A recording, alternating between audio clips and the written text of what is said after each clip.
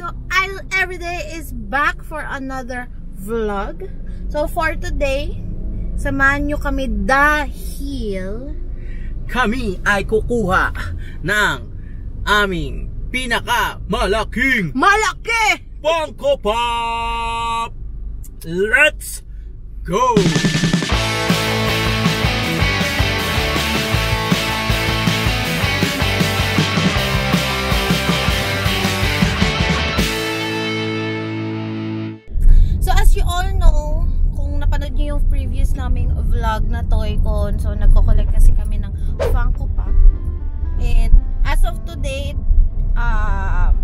100 plus, I think 108, 109 Ah, ganun. na kami na Funko Pops nasa bahay lahat. So nabanggit nga namin kanina i-claim namin yung pinakamalaking Funko Pop namin ever. Actually, siya talaga yung pinakamalaking Funko Pop. As of the moment, as of as of now, yun ang pinakamalaking ito pa lang Funko Pop ating na pinakamalaking ni-release nila. Oo. So, ah, gladly Batman yun. At meron kaming kakayahan. Kakayahan. Kasi syempre, 13th month season is here. So meron kaming kakayahang um, bilhin yung May pondo. pinakamalaki. Yeah. Pondo ng Pinoy. Actually, bago pa magpasko, pinag-anuhan na namin yon Pinag-ipunan na namin kasi mga gantong panahon naman daw yung dating. Nag-pre-order kami actually nung Batman.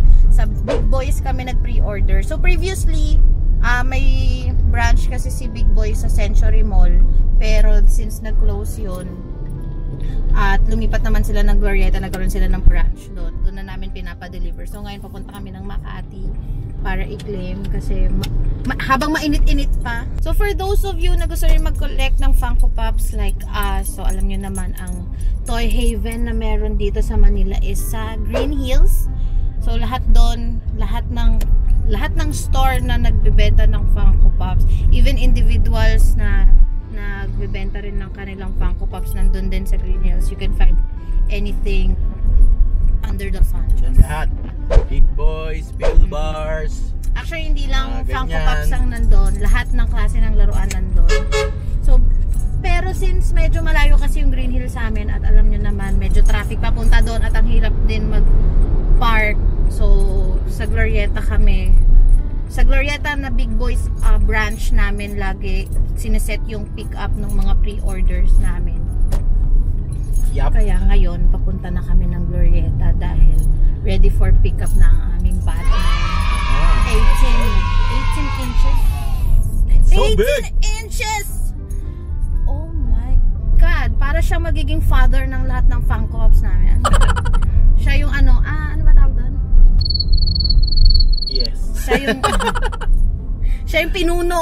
Yan, yan. Siya yung pinuno ng aming uh, mga Oh, baby magiging- Funko Pops. Pero siya ang dyan. magiging baby namin. Siya yung pinuno ng niya. Funko. Oo. Para kami magka... Feeling ko magka... Para kaming magki-claim ng anak namin. Ganon. Sobrang laki niya eh. So, ayun. On the way na kami. Pakita namin mamaya ulit pag nakuha na namin. Bye.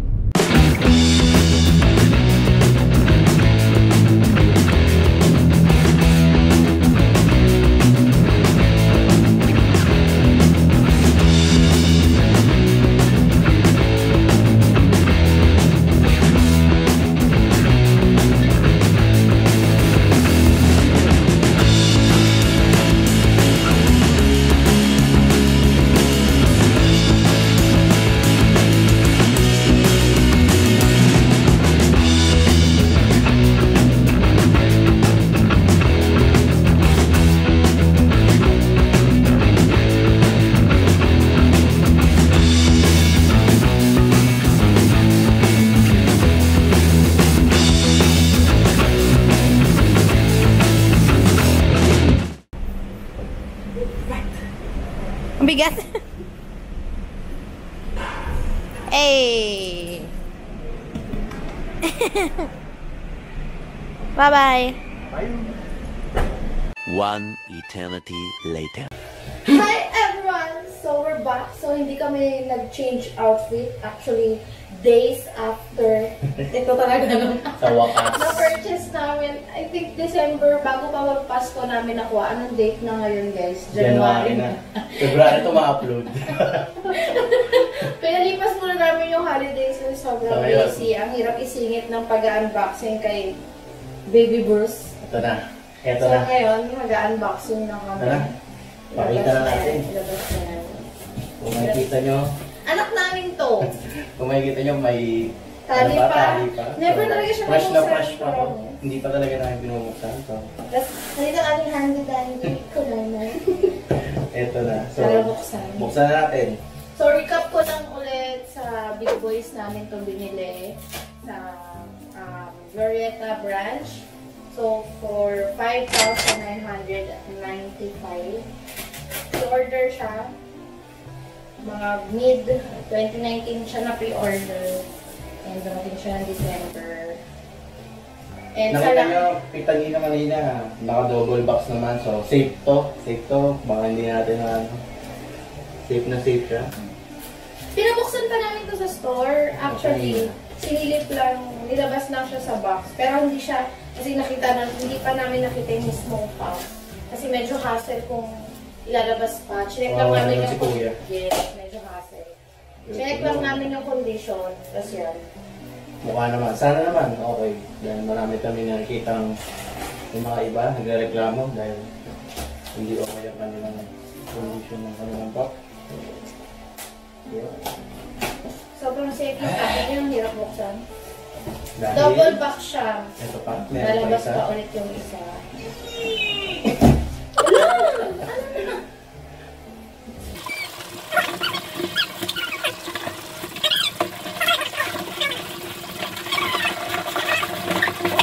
Nasa isa Medyo pang box. nakakaubos ng pasensya yung first box, ha? At nasa isa pang box. Another So, milk. so, ayan na. Hello. Hello. Ayan na. 18 inches. Naligas pang kupap. Eba. In chit. May mga gas-gas konti, pero sa box naman yung ang importante, Yung laman. Okay. kayo. Ang labas no. Tandaan, oh my God. Yung box nito, yung normal na pack na kita yung loob. My God. Window type, wala. Hindi. Hanap ako ng hanap, hindi Ito pala na. siya nakikita. Oh, na ganda. Kukompare lang natin siya sa yung maliit na version. Kuhin natin ito. Baby namin to, pero siya yung So, tatay ayan. ng lahat. Ayan yung maliit na version, no? Hello. Oh, ganun talaga. Ayan. So, Ilang inches ba ba? Hindi ko alam eh. Mga 3 and something. So, yan. Mamaya, side by side natin. So, ano? Tuloy na natin? Tuloy mo na, sunod ko na. Ang wonder ko na ay 18 inches, 46 centimeters.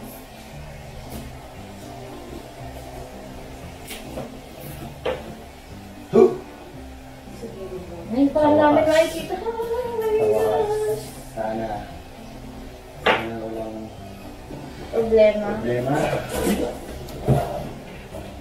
Yung second camera natin, high yan. Ayaw nga pala. Harap ng harap. Pala dito ako sa kabila? Oh my goodness. Holy shit.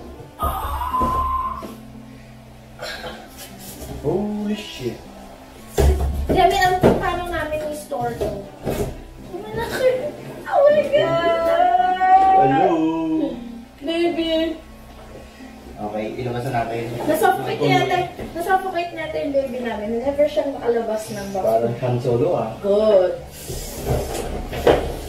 Ang Bango. Uy, may bago ka pa, be. Ano na? Oh. Oh. Safe naman yung ulo. May pa ganon. Oh. Headrest. Oh, ito na siya guys. Hello. For our biggest pangkupap. Eva. Ayan.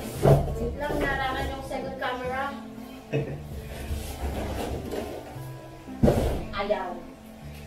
Hoy, sobrang ganda naman. Oh my God. Pang ko pa nananawagan ako sana magkagan, magkaroon ng 18 inch yung Hello Kitty. Hindi malayo. Oh, Hello Kitty! Oh my God, nakakaiyak tayo. Ay. Hoy, ang ganda ng design. Oh. In fairness, walang damage. Right? May konting... may konting alikabok Pila ko na lang. yung Pero baby niya. Ayan. Bagag. Baby Kita niyo na? Batman. year. Oh, ganyan lang siya kaliit ito yung ano, original size. Pero, Pero, hindi ganun kagasgas. Good, good condition. Meron na. So, ayun, tapos na namin i-unbox si Baby Bruce. Ito mini. Super, super baby. Baby, super baby Bruce. Ang dami na namin anak na Batman dito. At hindi namin alam saan nilalagay ko. Pag-iisipan pa namin. Basta shoutout sa Papa, sana mag-girl na siya. Hello, Katie Chris. Shoutout sa Big Boys Toy Please, Store. please. Uh, dahil sa inyo kami nakabili. Uh, Sa palaging smooth, seamless transaction sa Big Boy, sa More power. pre-or- pre-order transaction. VIP soon. Yes! Nag-update ng rules si Big Boys para sa mga VIP um, card holders. So, mukhang mas nalalapit kami sa getting there. Dati kasi di ba pag ano, pag card transaction, walang, ah, hindi applicable yung percent off sa mga members. Pero dun sa updated um, rules nila, meron na rin um, Itago. discount even if card din yung transaction. So, we're excited for that. More Bebe Pops to come for Idol every day. So, ayun. Ako pa rin sa 2020. Taghirap pa rin sa 2020. So, ayun. Thank you sa pagsama sa amin sa pagkuha, pag-unbox ng aming biggest Funko Pop. Kung nagustuhan niyo yung video na to, Don't forget to like and subscribe to our channel para sa kung ano-ano pang kalokohan at mga discoveries ng Idol every day. Yep. So, see you guys in our next vlog. Bye.